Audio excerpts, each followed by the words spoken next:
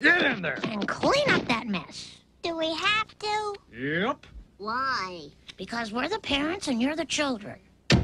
Oh, no. This'll take forever. I've got a plan.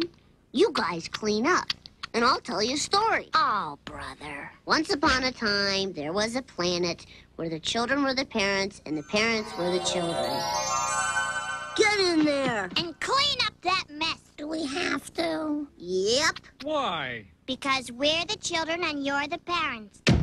Oh, no. This'll take forever. I got a plan. You clean up, and I'll tell you a story. Forget it.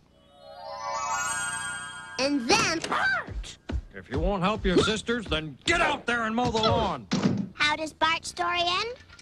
Well, everyone lived happily ever after.